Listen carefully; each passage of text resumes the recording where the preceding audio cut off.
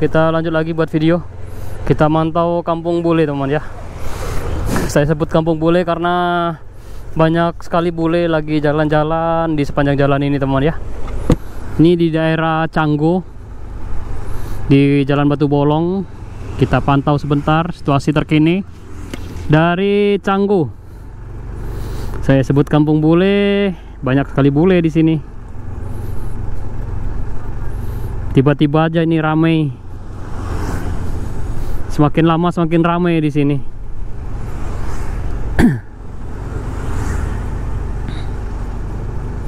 Banyak sekali tempat usaha di sini ya, sepanjang jalan ini. Kontraannya ngeri-ngeri sini teman-teman ya. Ukuran toko 3 meter kali 10 meter ke belakang itu bisa sampai 100 juta per tahun. Harga toko di sini memang goda ya. Har malum harga tanahnya juga mahal di sini. Harga tanah sini itu per arenya 10 meter kali 10 meter itu bisa sampai satu setengah miliar nih di daerah sini. Makanya kontraknya mahal sini. Kontrak kontrak toko-toko itu mahal sekali sini. Tuh bule-bulenya wisatawannya pada parkir sini teman ya. Ini tempat parkir untuk wisatawan yang mau ke pantai atau yang mau jalan-jalan ke pinggiran pantai.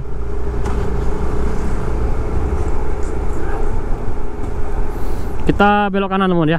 Di sini kita belok kanan.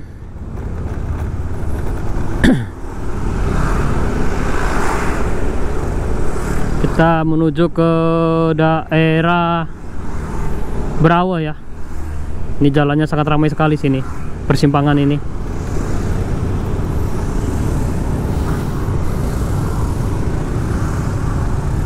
Simpangan yang sangat ramai sekali.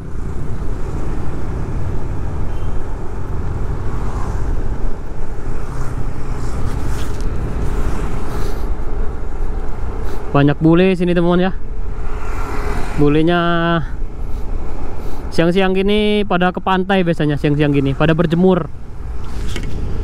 Biasanya pada berjemur siang-siang begini.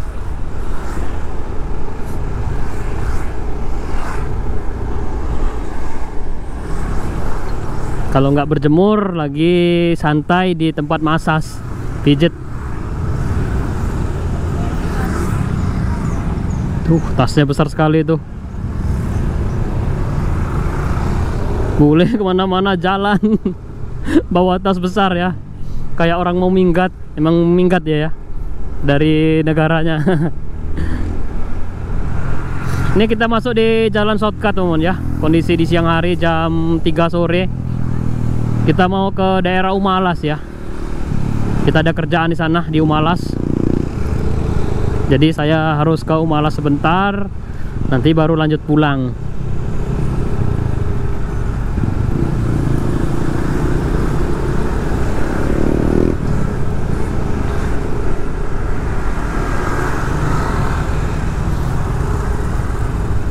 Pada nggak pakai baju ya panas-panas gini. Panasnya menggigit gini bule-bule pada nggak pakai baju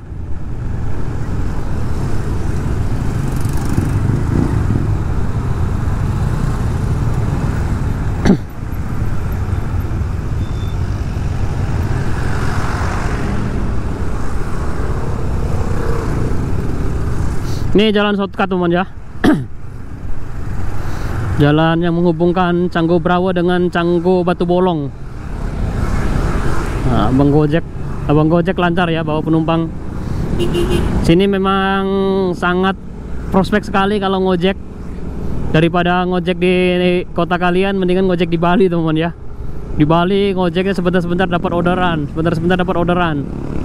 Mungkin kalau di kota lain saya kurang tahu ya, tapi kalau di Bali rata-rata minimal per hari ya. Kalau benar-benar dia bekerja dari pagi sampai malam itu minimal 400 ribu tuh ngantongin duit. Ini ngapain nih bule? Salah jalur lagi. Waduh. Jalurnya salah dia ngebut lagi ambil sebelah kiri kita. Dasar bule ya. Nggak tahu aturan dia. Nih jalannya ramai terus ini. Coba kita hitung gojek yang lewat jalur ini ya pas kita macet ini. Ini biasanya sampai 10 satu. Baru satu ya kita karena macet di sini coba kita hitung. Kayaknya lebih dari 10 coba kita hitung ya. Baru satu ya yang lewat ya. Coba yang gojek bawa penumpangnya aja. Coba kita yang lihat gojek yang bawa penumpang. Ini nggak bawa. Ini nggak bawa juga. Sebentar. Kita kena macet sini kayaknya lebih dari 10 kayak nanti. Abang gojek bawa penumpang sini. Biasanya ramai sekali sini. Kita kena macet nih. Ini udah langganan macet sini lah ini dua ya. Abang gojek bawa penumpang cantik. Dua tiga ya. Tiga. Cewek semua ya. Coba kita hitung lagi teman-teman ya. Enak ngojeknya di Bali tuh kayak gitu teman-teman ya. Sebentar. Kita pelan-pelan aja. Baru tiga ya. Tumben ini. Tumben tiga. Kayaknya lebih. Kayak target saya 10 di sini. Kalau kita kena macet sini target saya 10 penumpang. Biasanya bang gojek bawa penumpang sini. Macetnya sekitar sini aja sebentar. Cantik-cantik ya nah itu bawa, bawa penumpang lagi ya. Empat di depan ya. Yang ini empat abang grab. Bawa penumpang cantik juga sebentar. Baru empat tumben empat nih. Saya target saya 10 biasanya di sini tuh. Pas lagi kena macet sini pasti ada lebih dari 10 biasanya. Pada nggak bawa penumpang ini tumben nggak bawa penumpang. Biasanya banyak bawa penumpang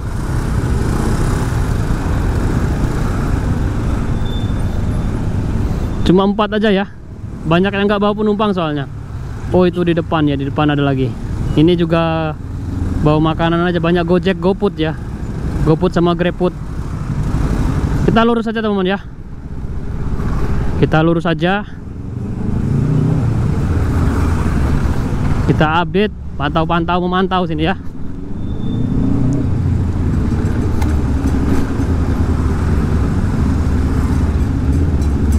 ini jalan sempit yang selalu ramai. Aneh ya. Jalan sempit yang ramai. Bali bro. Ini Bali. Ini Bali ini kayak gini teman ya. Banyak jalan sempit yang ramai. Kalau teman-teman baru bergabung baru kenal CCTV malam kita update selalu video setiap hari ya. Kita update setiap hari dari jam 6 pagi jam 12 siang jam 5 sore dan jam 8 malam. Mulai tayang videonya.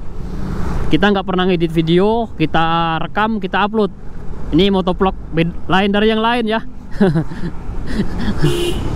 Lain dari yang lain tapi penontonnya nggak ada. Penontonnya masih sepi-sepi amat. Sepi amat amatnya sepi ya. Mudah-mudahan sih tahun dua tahun tiga tahun. Mungkin kalau dua tahun belum belum ada itu perkembangan mungkin tiga tahun. Tiga tahun masih sepi empat tahun. Kalau masih sepi lagi lima tahun. Ya terusin aja nanti ada waktunya. Akan ada waktunya buat dia tayang ke tempat kalian semua. Pasti ada perubahan lah. Karena video kita nanti mungkin kalau udah 2 tahun 3 tahun bisa sampai puluhan ribu. Kita belok kiri teman ya. Terima kasih buat semuanya. Kita tutup dulu ya. Terima kasih buat semuanya ya